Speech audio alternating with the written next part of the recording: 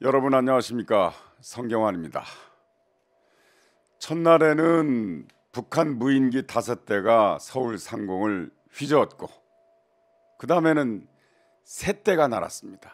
아무래도 철새겠죠. 어제는 또 풍선이 날았습니다.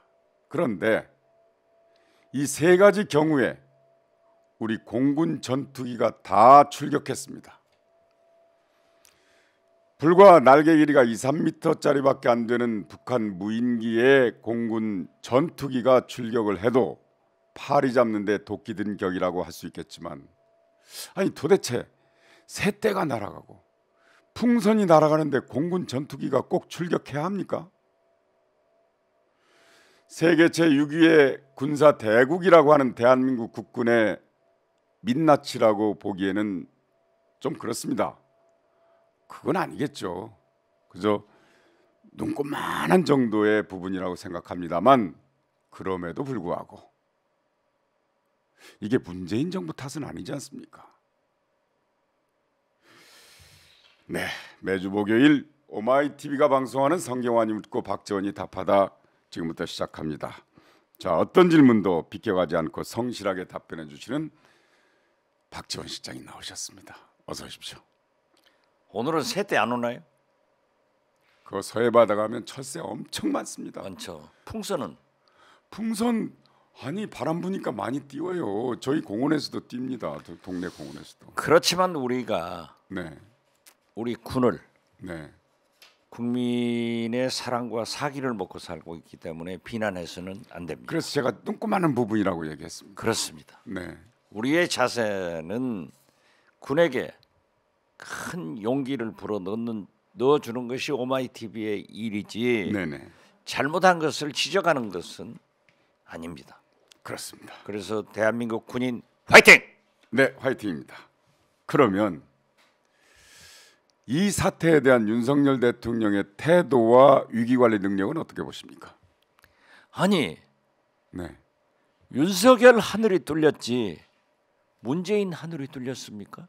어, 네, 누구 하늘이 뚫렸어요? 자기 하늘이 뚫렸는데 왜 남 탓을 해요? 기승전 문재인.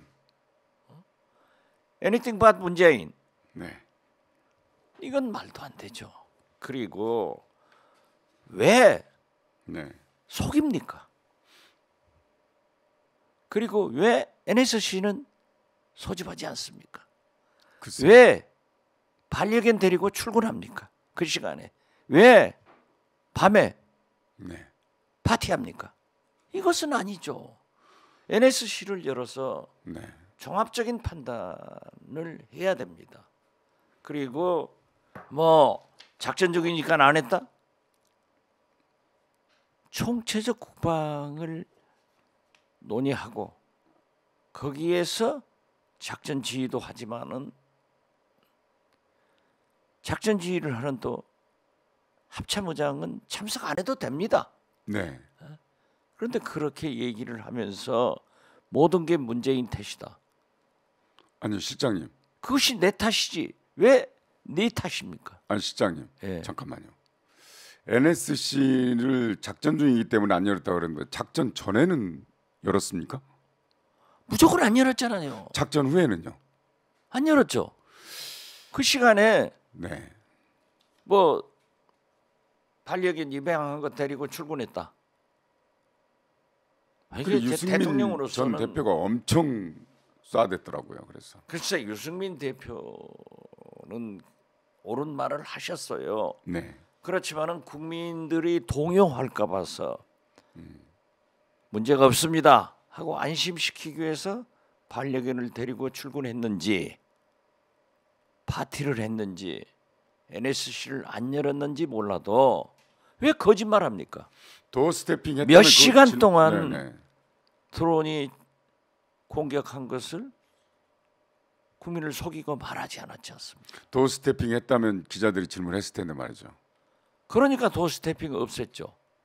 지지율이 올라간다는데요. 올라가겠죠. 그런데- 올라가죠. 그런데 여기서 만약에요 시장님 말씀대로 작전 전이나 작전 중이나 작전 후에나 NSC를 열었다면은 적어도 우리나라에 드론 부대가 있다는 건 알 거 아니에요. 아니 그러니까 윤석열 대통령이 국방 전문가가 아닙니다. 네, 검찰 총장을 하신 분이기 때문에 그러한 문제에 대해서는 전문가겠죠. 네, 네, 그렇지만 국방 전문가가 아니면은 대통령은 그 유명한 와이스도 네, 머리를 빌려 쓰라고 그랬어요. 그렇습니다. 자기는 운동만 하고 국방 전문가의 의견을 들어야 됩니다. 네, 그리고 NSC를 열어서 종합적 판단을 해야 되는데 지금 윤석열 대통령께서 한 대 오면 두 대 올려라. 강경한 대응을 주문하는 것은 대통령으로서 뭐 적당하다고 봐요. 그렇지만 구체적인 작전 지시를 하는 것은 대통령이 아닙니다. 실무자가 하죠. 합참 의장이 네. 하실 말씀을 대통령이 하면은 만약에 외교적 해결과 남북 대화 때 어떻게 되겠어요? 김정은도 말하지 않지 않습니까? 네, 김여정 시켜서 말하지 않습니까? 김영철 시켜서 말하지 않습니까? 어? 이걸 나는 윤석열 대통령이 너무 즉흥적 대통령을 하고 있다. 거기서도요. 그러다 보니까 확전을 불사하고 이런 말씀도 하셨어요. 글쎄요. 전쟁을 원하는 국민이 어디 있겠습니까? 그것은 제가 볼 때 강한 경고를 보내는 말씀인데 그러한 얘기를 하는 것은 합참 의장 정도가 하는 거라니까요. 그거를 국방장관이 할 네네. 얘기를 대통령이 다 해버리면은 만기 칠람 해버리면 뭘 하겠어요? 이제 수습의 길이 없는 거예요. 그러니까요. 그건 외교적 문제가 생길 수도 있고 주변을 긴장하게 하고 국민을 불안에 떨게 하지 어떻게 않습니까? 됐든 윤석열 대통령께서 당신도 얘기했지만 대통령을 처음 해봤지만은 모든 전문가는 아니에요. 네네. 특히 국방 전문가는 더더욱 아니에요.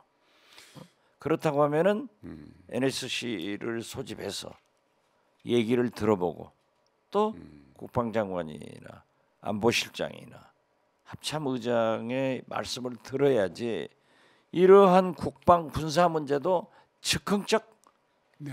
답변을 해서 문제를 키워가면 안 된다. 그러니까 NSC를 열었다면 거기서 여러 가지 종합적인 얘기가 다 나올 테니까 드론 부대를 창설하라 이런 엉뚱한 얘기는 안 했을 거 아닙니까? 그렇죠. 이미 드론 부대는 문재인 정부 때 2017년, 18년. 18년 네. 창설돼 있어요. 2,500. 예, 2,500대나 있어요. 네. 드론이 제가 국정원장을 했기 때문에 구체적인 비밀에 대해서는 제가 말을 못 합니다. 이미 보도가 나왔어요, 그거. 아, 이제 보도 나왔으니까 말씀드리는 거죠. 네, 네. 그러면은 그러한 것을 대통령이 즉흥적으로 했을 때 더 큰 군사적 문제가 생겼을 때 만약 전쟁이라도 나버리면은 어떻게 할 거예요? 그러니까요. 이거 그리고- 감사원 감사해 가지고 수사 받아야 됩니다, 이거.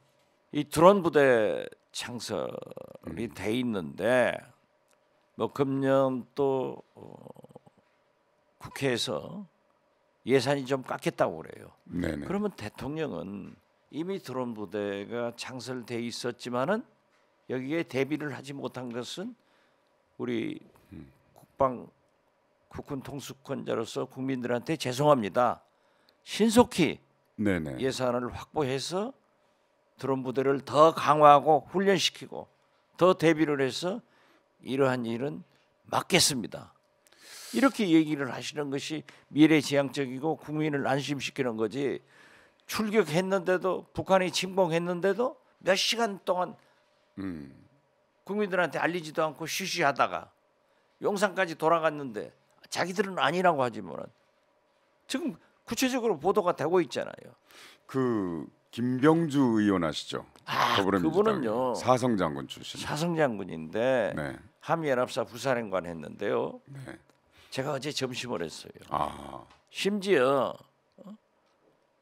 그 군 한미연합사 부사령관 뭐 모임이 있대요. 네네. 거기서 제명시키려가 그렇게 압박을 한대요.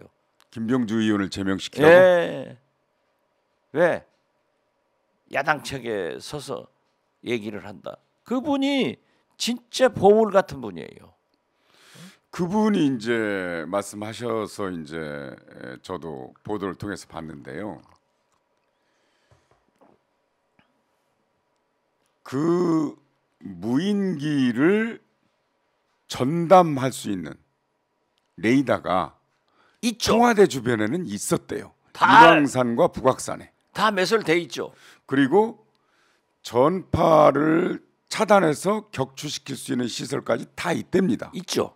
있었는데 제가 네. 알고 있지만은 네. 국정원장 하면서 취득한 일이기 때문에 말을 못했어요. 아하.